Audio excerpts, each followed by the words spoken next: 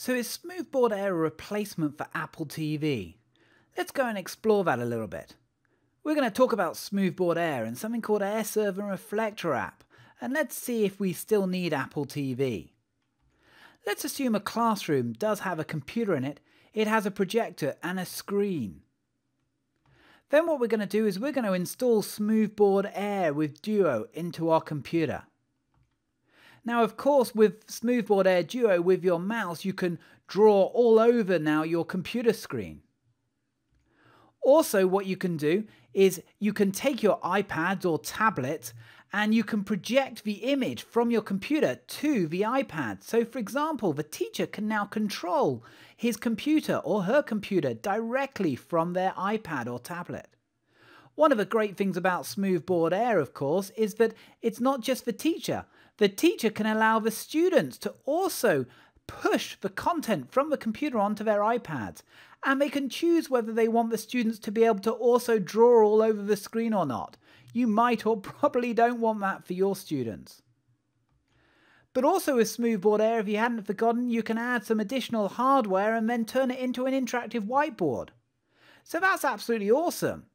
So where does Apple TV fit into it? Well now on my computer, if I install a piece of software called Air Server or Reflector app, what that basically does is it replicates the functionality of Apple TV. AirServer or Reflector app is only about $20. So now, whereas before we were pushing the content of the computer to the iPad, or now what we're going to be doing is from the iPad, we can push that content onto the computer screen.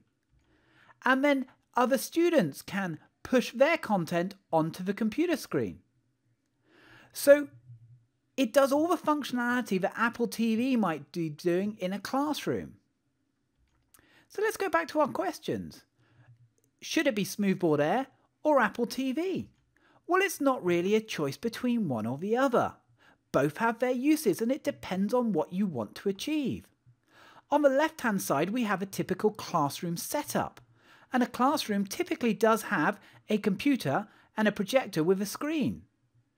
If you add Smoothboard Air with Duo, you can create an interactive whiteboard.